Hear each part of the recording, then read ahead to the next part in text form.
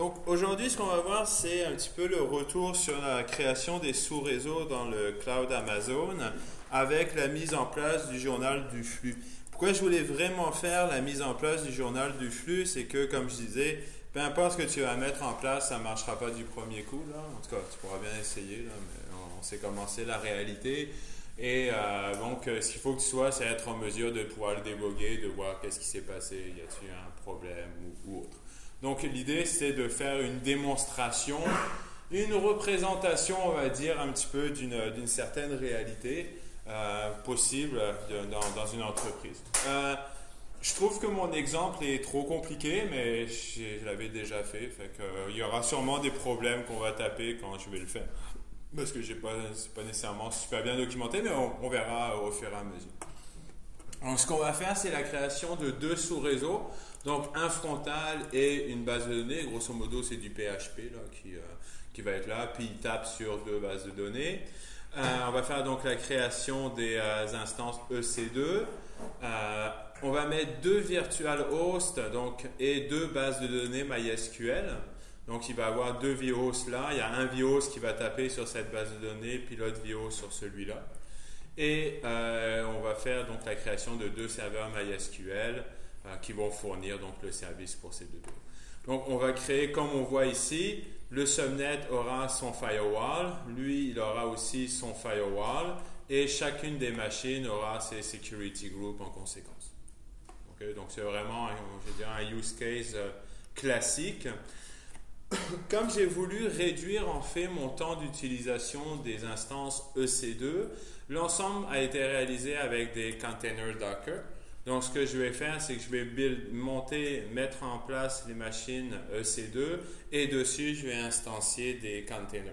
Euh, donc, ça, elles sont déjà préconfigurés, ce qui m'a permis de faire l'ensemble de la validation euh, sur mon poste de travail avant de l'envoyer. Euh, c'est sûr qu'il y a une possibilité d'utiliser, euh, si on regarde dans Amazon, AWS, euh, Docker Container, c'est ECS, si je ne me trompe pas. C'est ça, les Amazon EC2 Container Service.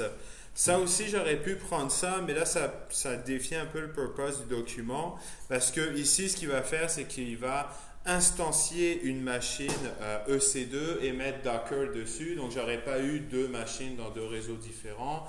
Là, ce que je voulais, c'était montrer le réseau et m'affranchir en fait de l'infrastructure, en fait de l'installation applicative. Donc, c'est pour ça que je vais mettre Docker dessus. Euh, éventuellement, on essaiera de couvrir cette partie-là, mais euh, en tout cas, il faut que je lise un peu plus sur le sujet parce que c'était un peu plus, un peu plus fou. Donc, ce qu'on va faire, c'est qu'on va voir donc, la création donc, de deux sous-réseaux. Euh, j'ai défini donc des sous-réseaux. Euh, pour la BD, j'ai mis 172 31 50 slash 27 et pour le front 60 slash 27. Donc ici, j'ai mis le IP cal pour voir. Donc c'est une trentaine de machines à l'intérieur. OK. Euh, est-ce que j'ai déjà fait? Non, je vais le faire après. Ici, j'ai fait une définition grosso modo des ACL qui vont être à l'intérieur. Donc, la base de données, je vais permettre donc, le port 22 uniquement depuis le front. je vais mettre, je vais juste ouvrir ça fenêtre. View image. Donc, depuis le. Donc, de n'importe où, ça c'est une erreur, de n'importe où, on va pouvoir se connecter sur le port 22.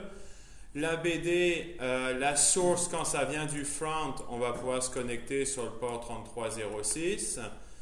Euh, je refuse toute communication vers l'extérieur. On verra que ça, il y aura une petite touch-up à faire, parce que ce n'est pas la vraie réalité.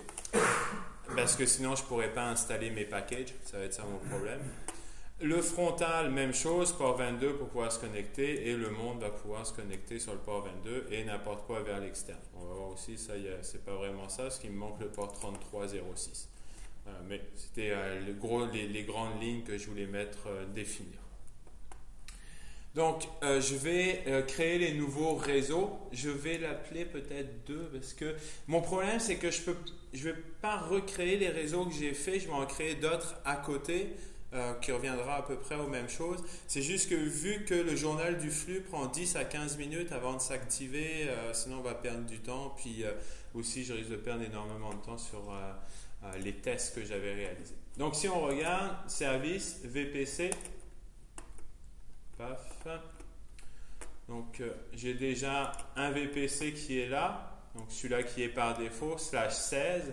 Au niveau des subnets, vous voyez, j'ai déjà mes frontales et BD que j'ai créés originalement avec les segments réseau. Juste pour pouvoir faire l'exercice, je vais en créer des nouveaux pour qu'on visualise un petit peu euh, euh, comment ça fonctionne. Donc, je peux mettre donc, le nom euh, du VPC, que je veux, du subnet que je vais vouloir utiliser. Donc, frontal, je vais mettre démo. Là, il me donne à l'intérieur du VPC je peux définir dans quelle zone il va être disponible. Euh, les zones, parce que euh, au niveau du Amazon, j'ai la région de euh, la Virginie ou l'Ohio, le Canada central, etc.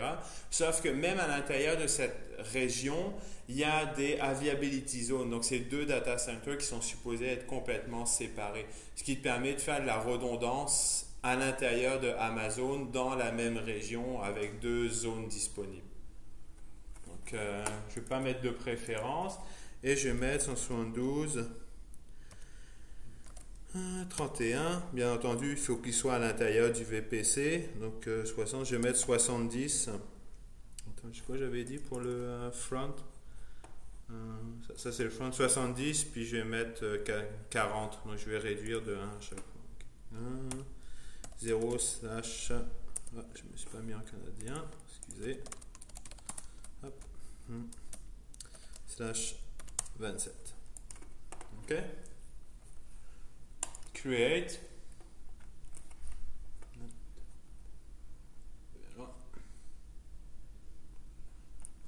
Et maintenant, donc, j'ai ici mon front démo qui a été créé euh, avec le segment. Ici, je n'ai pas d'adresse IP publique qui est assignée par défaut. Si on regarde aussi,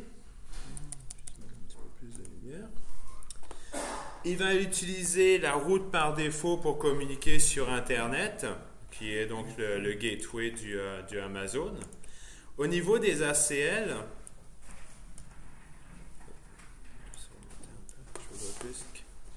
on voit ici euh, tout le trafic est accepté en entrée. Allô? après rejeté. Et pareil pour le outbound. Donc là, pour le moment, le network, il est. Bon, j'ai pas de flux, ça on va le voir incessamment. Et je pourrais définir un tag pour l'associer, pour faire des, des assignements. C'est plus pour les facturations qu'on va utiliser ça ou pour quand on va vouloir le scripter, euh, automatiser. Parfait. Euh, là, ce que je vais faire, c'est que je vais créer une ACL pour ce réseau pour avoir quelque chose euh, plus, plus restreint en fait. Hmm, donc je vais aller dans ici. C'est 4 subnets. Attends. Attends, attends. Ça, ce subnet là, c'est pour le VPC. Excusez, c'est pas celui-là que je veux. Network enlever. OK. Donc ça, c'est les subnets que j'ai déjà créés. Je vais en créer un nouveau que après je vais associer au front. Donc si j'en crée un, non. Front démo. Yes. Front démo. Et là, je vais pouvoir définir mes règles en entrée. Je vais faire un edit. Je vais ajouter une règle. Je vais dire donc le port SSH, protocole, la source, j'autorise de partout. Slash 0, excusez. Je vais pouvoir en ajouter une autre, 200. Et là, comme je disais, je peux mettre des règles allow denied, chose que je ne pouvais pas faire pour euh, les security groups donc on voit ici, j'ai le Halo Deny qui, est disponible. Rappel, pour cette partie-là, mes règles sont stateless. Ok, donc j'ai pas de les, communications, chaque port est lu à la fois. Hein? Donc, euh, donc, ça, ça serait ce que j'aurais. Ça, c'est ce que j'avais défini au début. Et dans le outbound, donc là, le trafic, il est rejeté par défaut. Je pourrais définir une règle pour dire, ben, en sortie, tu peux communiquer. Euh, J'ai-tu MySQL? Moi, j'ai MySQL, me semble. MySQL vers le segment 172, 31. J'avais dit que je réduisais de 10, là, 27. De la destination, tu peux, tu permets pas. Save. Et à ce moment-là, à chaque fois, il va me rajouter le deny d'après. OK? Comme je disais, c'est stateless. Donc, la problématique, si ça avait été stateful, cette configuration serait convenable. C'est-à-dire que je permets les connexions rentrantes, mais du fait que c'est stateless, si on regarde mon front réel qu'on va utiliser pour la démonstration, je permets les connexions entrantes sur le port 22, sur le port 80, et je permets que toutes les connexions sur les ports dynamiques soient autorisées. J'ai pas le choix. Parce que sinon, quand, le, quand la communication sort, quand elle revient, elle se fait rejeter. C'est correct? Je vois, je, vois un doute dans les yeux. OK. Pour rappel. File. Ah, attends, c'était quoi? Attends, je l'ai. Ce sera pas bien long. Est-ce qu'il y avait un test? Il n'y a pas moyen pour activer les connexions Internet? Non, c'est stateless peux rien y faire là-dessus. Le, le, security group est stateful, le firewall pour les subnets est stateless. Donc, prenons l'exemple, intervertissons. Celui-là, ça serait le, service, le serveur web, donc euh, mon, ma machine Amazon. Elle communique vers l'extérieur pour chercher un package chez Red Hat, par exemple. Le port 80, mettons que j'autorise tout en sortie, va être autorisé. Quand le paquet va revenir, il va revenir sur le port dynamique 34068 ici. Si je n'ai pas autorisé dans ma règle de firewall via ici que le paquet de retour est autorisé, il va se faire rejeter. Lors du retour ici le SINAC n'arrivera jamais et la connexion ne se fera pas. Il faut s'entendre que pourquoi ils ont fait ça, c'est qu'au niveau du CPU load, c'est beaucoup moins élevé. Ils n'ont pas besoin de traiter rien du tout. Ils regardent juste si la, règle, un match ou un match pas, puis hop, ça envoie. Sinon, ils sont, ils sont obligés de, de dire OK, cette communication-là, elle est passée, fait que les paquets qui vont revenir, je vais les laisser passer. Donc, ça réduit énormément leur charge. Donc ça, c'est c'est ça que tu veux dire? Ben, ça, c'est une vraie communication TCP. Ouais. C'est pas, c'est une démonstration que quand le paquet il sort sur un port, il revient sur un autre. Résultat, ben, les firewalls sur, euh, au niveau des security, du, euh, pas security group, des subnets, c'est une vraie passoire. Si on regarde le outgoing, c'est pareil. Faut que je permette que ah, les paquets qui ressortent, donc là c'est exactement l'exemple qu'on a ici, je suis le serveur web, j'accepte la connexion sur le port 80 en input, donc input port 80 il est là, quand lui va répondre au client sur le port dynamique que le client a initié, il va répondre sur le 34068. Donc, je suis obligé de laisser le paquet sortir sur le port dynamique. Résultat, dans le outgoing, je suis obligé de laisser cette, euh, passoire à l'intérieur. Donc, c'est vraiment problématique. Ou ça peut être intéressant. Donc là, on, se repose vraiment la question est-ce que ça vaut le coup d'utiliser ou non ce firewall-là? Est-ce que je suis pas mieux de prendre les firewall euh, security group? Je pense que si on oublie la question des ports, Donc, on va dire que à l'intérieur du firewall du subnet, je ne prends pas en considération les ports, je fais juste de l'accès, de l'autorisation et de la limitation par adresse IP. Donc, j'y vais vraiment IP base et non TCP, ce qui va me permettre de faire une limitation. Et où ça va peut-être devenir intéressant, c'est pas, pas du tout sur la partie exposée sur Internet, mais plutôt sur les parties à l'interne, où là, je vais pouvoir jouer. Mais là, ça peut devenir aussi vite compliqué de travailler avec, mais c'est une réalité. Eux, c'est sûr qu'Amazon, ce qu'ils privilégient, c'est les security groups par machine. C'est vraiment ça l'objectif. Puis vous verrez, euh, j'ai mis dans la, description un peu plus bas, c'est vraiment ça qui, euh, qui euh, dans les best practices des définitions des subnets ou les use cases, là, il y en a quatre. Là. Dans les quatre, c'est, open bar. Parce que c'est stateless. Tu vois ce que tu veux, c'est stateless, c'est stateless. Par contre, ça te permet de mettre des règles de refus. Les règles de refus ne sont pas possibles d'être mis à l'intérieur des security groups. C'est juste des accepts. Il faut que tu jongles un petit peu avec, euh, avec ça. Vois, ici, j'avais essayé de mettre, euh, ça c'est pour les BD, j'avais essayé de mettre un, dynamic range plus bas, puis euh, finalement, je l'ai, ouvert parce que ça marche pas. Je me suis battu un petit peu avec ça. Ok. C'est un petit peu le, processus, mais ça a évolué entre les screenshots, comme j'ai dit, je l'ai, refait plusieurs fois cette, euh, cette configuration-là.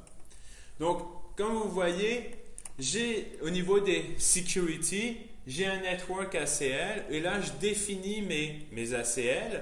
Par la suite, j'associe ces ACL. Donc, si je reprends le front démo, le subnet, le front démo, je vais cliquer dessus et là je vais dire OK, bon ben, euh, Right, ah, right click, euh, euh, network ACL edit, et là je vais pouvoir définir, ok, bon ben, pour ce subnet là, utilise plus celui-là, mais utilise le front démo. Hop, save, et là je vais pouvoir maintenant mon, mon, mon, mon subnet a ses règles de, de, firewall associées. Donc comme on voit, pour la machine EC2, la machine EC2 peut avoir plusieurs security groups associés à la même instance le subnet ne peut avoir qu'une ACL qui est définie. Par contre, je peux avoir, si je reprends,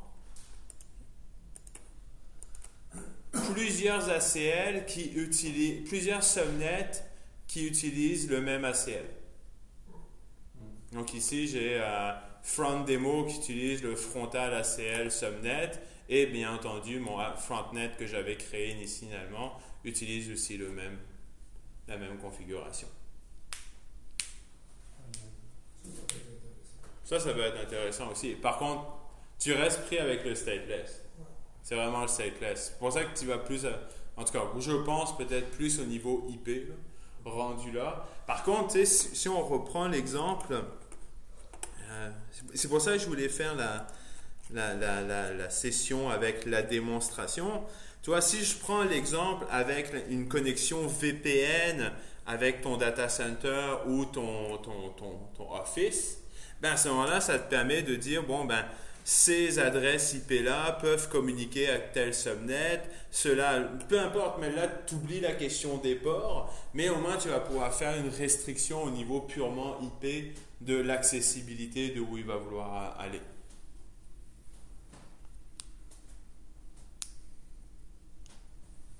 Des questions? Mais moi aussi, j'ai été très très surpris quand, j'ai vu ça. Faut que tu travailles avec les deux.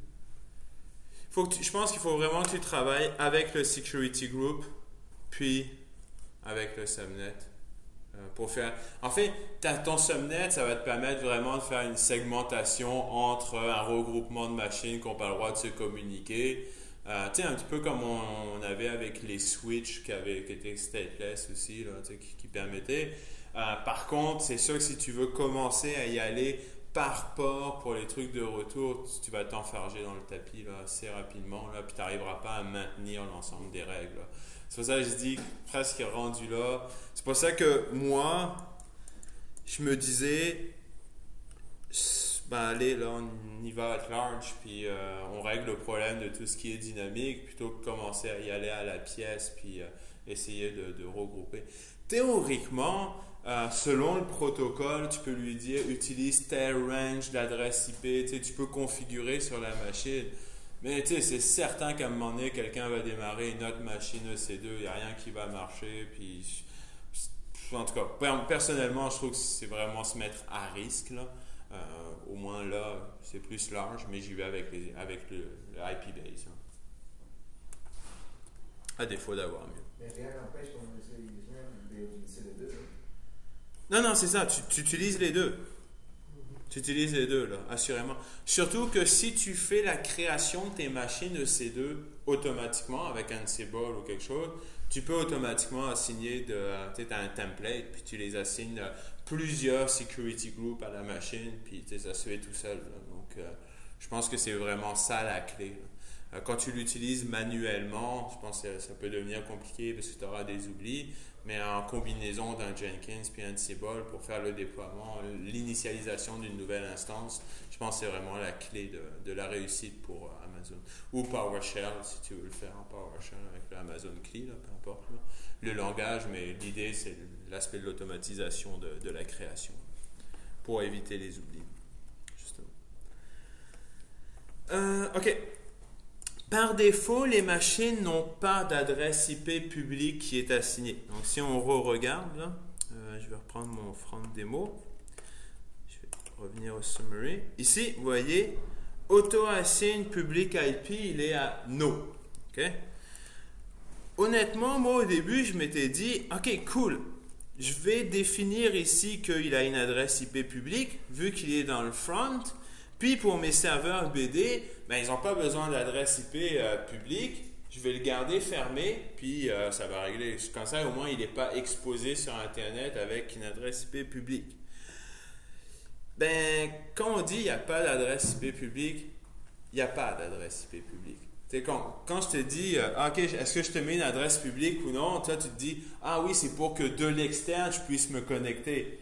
Mais là, on dit tu n'as pas d'adresse IP publique, fait que tu peux pas communiquer sur Internet, tu peux pas installer de package, tu peux comme, tu es juste tout seul avec ta machine. Ouais, ouais, il n'y a, pas- y a pas de nothing, tu n'as pas d'adresse IP publique.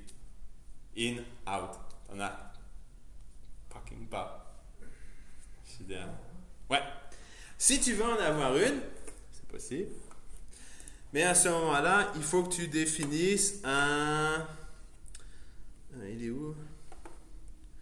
Un NAT Gateway. Là, il va falloir que tu crées un NAT Gateway qui, lui, aura une adresse IP publique et va faire le natting pour toi en arrière. Donc là, il va faire le natting. Donc il sais plus c'est quoi le coût. Là.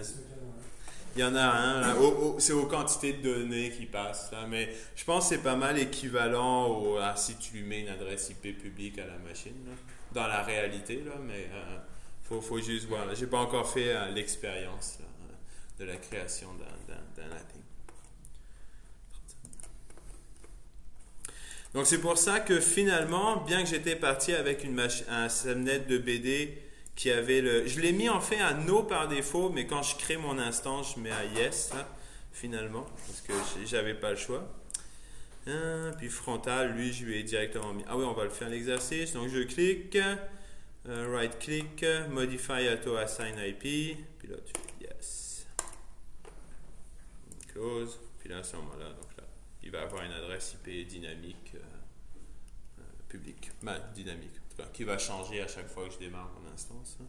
à moins que je paye 0.05 cents de l'heure pour avoir une adresse IP hein, statique, publique.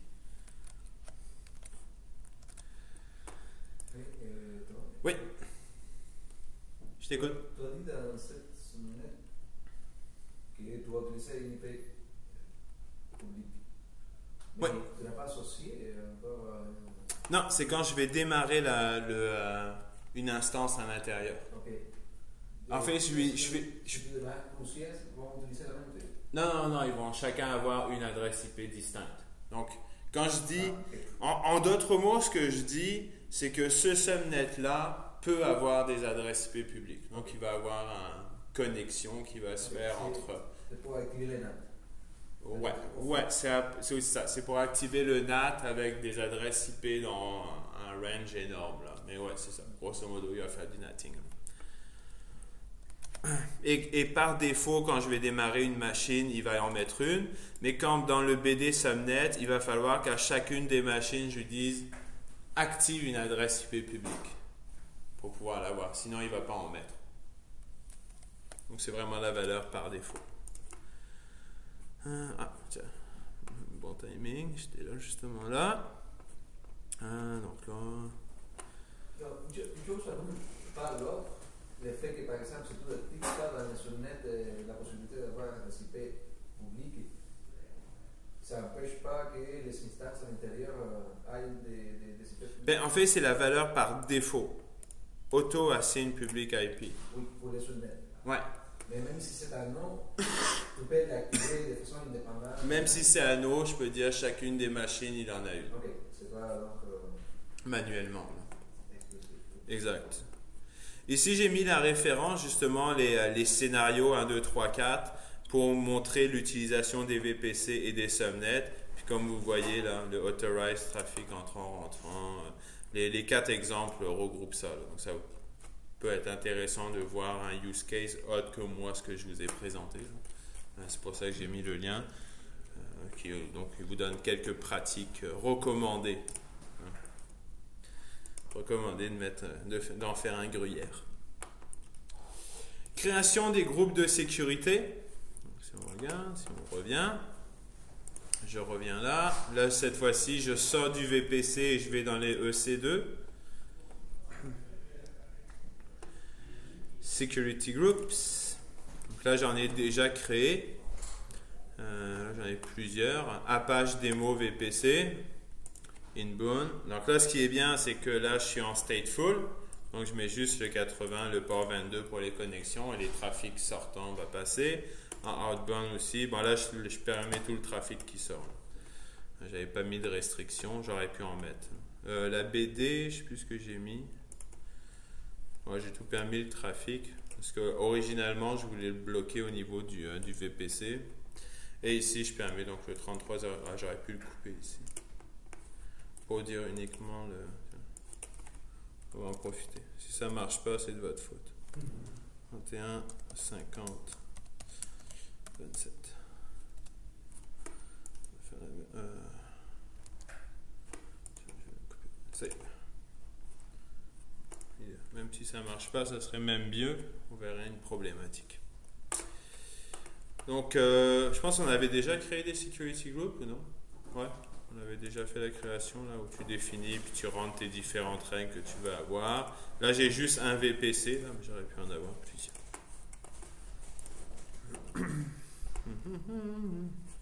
Ça c'est la démonstration step by step. Ok, donc comme je disais, moi ce que j'ai fait, c'est que j'ai fait la préparation en Docker. Tout ça on l'a déjà vu. Euh, si ça vous intéresse, normalement le lien devrait marcher. Il marche, c'est fabuleux. Donc où là j'ai fait donc la création des deux containers, Euh, j'ai fait la- l'application, j'ai Shopee et ShowContact. Grosso modo, c'est que ça fait une connexion MySQL apprenant les variables d'environnement, le nom de la BD, le user, machin, puis ça fait une connexion, puis ça liste qu'il y a dans la BD. C'est vraiment tout con là. L'objectif c'était pas de faire ça compliqué. Euh, j'ai Shopee.xerus puis Contact. Là, j'ai fait le build, blablabla. Là, j'ai vérifié que ça marchait pas parce que j'avais pas la BD. Puis après, j'ai fait la même chose avec les BD, quelques petites opérations, des inserts à faire pour avoir des données à l'intérieur. Euh, L'ensemble est disponible sous Extra. Si tu rentres, tu as le. J'ai le Ansible qu'on va voir, le, Apache qui est là avec le Docker Compose et la configuration, puis la BD aussi qui n'a pas grand chose parce que. donc je- juste pour faire mention. Donc, ce que je vais faire, c'est que je vais faire la création de l'instance. Ah, ça va être chaud. L'instance web et BD. Peut-être qu'on va le refaire finalement la prochaine fois. Donc, euh, trois instances, une BD, deux apps. Donc, on va se lancer. Je suis pas sûr que j'aurai le temps de finir, c'est pas grave. On continuera. Took, launch. Un, un, next. Une seule, je vais la mettre dans le subnet front. OK. Euh, use uh, subnet setting. Donc, on fait là, je sais qu'il va avoir, je vais faire terminate quand je vais l'éteindre. Stockage, je vais juste laisser 10 parce que de toute manière, j'aurai pas grand chose dessus. Donc là, idéalement, je mets ça juste pour m'en rappeler. Parfait. Next. Le security group, je sélectionne celui-là que je, voulais à page démo, donc 80 euh, et le 22. Review démarre. Euh, je vais juste mettre celui-là, je pense que elle. Launch. Un, prendre note que quand j'ai démarré une instance dans un, dans un subnet, je ne peux pas changer l'instance de subnet. Ok J'avais déjà dit. Parfait. Donc euh, ça, il faut que tu penses à deux fois parce que euh, si tu veux la changer. Comme moi, j'avais voulu faire mes tests, euh, je vais en démarrer deux dans le subnet BD. Ici, je vais lui dire active une auto-assign public IP. Terminate. J'en ai fini.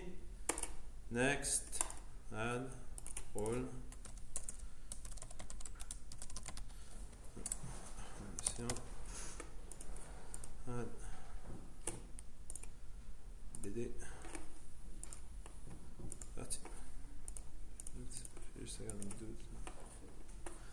Parfait. Maintenant, si je regarde mes instances, running, j'ai mon Apache qui est donc disponible. Bon, là, je ne les ai pas nommés, ça ne m'aide pas. Apache puis mes deux BD. Je vais juste mettre là ici. Web. BD1. BD2 facile comme ça. Donc, là, j'ai mes instances. Et là, j'étais rendu haut. Smart. Donc là, j'ai fait l'ensemble de la sélection qu'il fallait. Création du journal. Euh, ah c'est là que je le faisais. Je vais faire quand J'aurais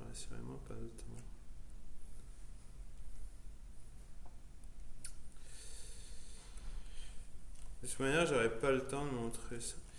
Je vais vous montrer la partie. Euh, parce que de toute manière, j'aurais pas le temps de le visualiser en 15 minutes. Puis il y a une formation ici qui suit, fait que j'aurais pas le temps. On va juste faire un test au niveau du, euh, du Ansible. Parce que euh, je l'ai pas, je pas beaucoup testé. Donc euh, on va faire une validation. Puis en même temps, s'il y a des questions pour la prochaine session, on regardera. Grosso modo, c'est ça les commandes que j'avais à faire sur chacune des machines pour installer Puppet. Euh, Docker. Donc, en fin de compte, j'ai installé le Yum Util, je faisais une configuration manager pour installer le Docker repo. Après, j'ai installé Make Cache, en fait, j'ai suivi la doc de Docker, puis j'ai installé Docker CE. Puis après, j'ai installé, j'ai utilisé pip pour pouvoir avoir Docker Compose. Donc, je récupérais avec curl je faisais le Python, le pip install, puis après je pouvais démarrer le, Docker. Puis après j'ai le groupe avec pour avoir l'utilisation EC2 user. Comme j'ai réécrit plusieurs fois la documentation et que j'ai dû faire beaucoup de tests, ben ça a commencé à me casser les couilles de devoir le faire à chaque fois. Donc j'ai décidé de d'utiliser Ansible pour que l'ensemble de ces opérations se fassent tout seul. Comme ça, ben, quand moi j'arrivais, c'était correct. Euh... Attends, j'ai-tu l'utilisation ici? OK. Ce qui s'est passé aussi, c'est que, bon, ben, je. J'avais pas envie d'installer Ansible sur mon laptop Parce que pas que ça allait pourrir ma machine, mais c'est que je voyais pas l'utilité d'avoir Ansible d'installer. Donc j'ai décidé de me faire un container avec Ansible pour pouvoir faire le déploiement de, mes machines avec. Donc c'est ce qu'on va voir là. Hein, création, déploiement des containers. Donc ça c'est... C'est un instant que je le retrouve. Donc, ce que je vais faire, je vais voici l'opération avec Ansible. Donc là, je vais copier. Ça devrait marcher. J'espère que ça marche. J'avais déjà préparé ma configuration. Ma configuration, elle est à l'intérieur du euh, de, GitHub, si, ça vous intéresse. Paf. Je copie dans TMP. Je modifie le fichier de host. Là, vous voyez, je ne me rappelle plus trop comment ça marche. Il faut vraiment que je suive ma documentation.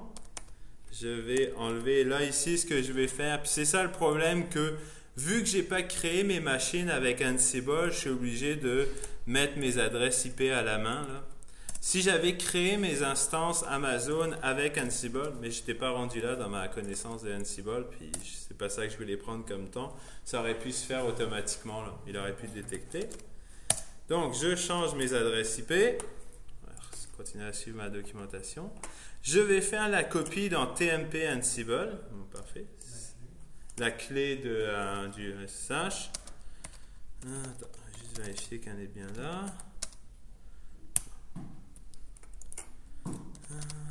parfait. Donc, ça doit être bon. Là. On va voir. Parfait. CD Git Ansible. Parfait. Si tu Git Training AWS. Il manque le tilde. Parfait. Et normalement, ce que je fais, c'est que je fais un Docker Compose et je monte le volume que j'ai mis dans. Ici, j'ai copié dans TMP Ansible, dans slash etc. Et après, j'exécute mon playbook pour faire le setup de Ansible. Donc, en fait, c'est un container, c'est un one-shot deal. Il devrait partir en Ansible puis euh, faire l'installation. C'est là que tu espères que ça marche. Normalement, ça devrait le faire. Roulement de tambour. OK. Ah, fuck. C'est pas la bonne clé. C'est pas la bonne clé. Est-ce qu'il me demande la clé, euh, la passphrase? Un instant. Il me semblait que je l'avais. Euh, parce que sans la clé, je pouvais pas la mettre dans sur GitHub. Hein? Non. Ok, elle est là. TMP, on avait dit ça où? Ah, CP, hop.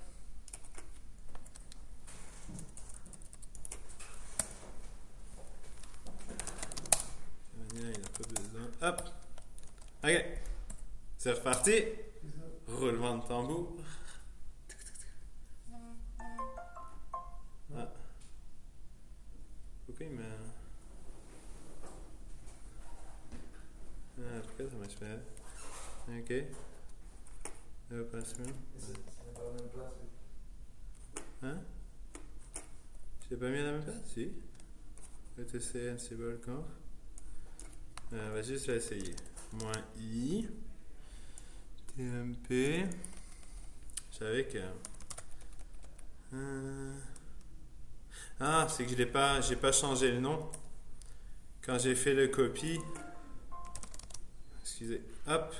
Et AWS Training, c'est pas le. Ah, voilà. Là, ça devrait être bon. C'est quand j'ai fait la copie, j'avais gardé le nom à souligner euh, nos. Euh, ah, là, je suis super confiant. Tata, il est connecté.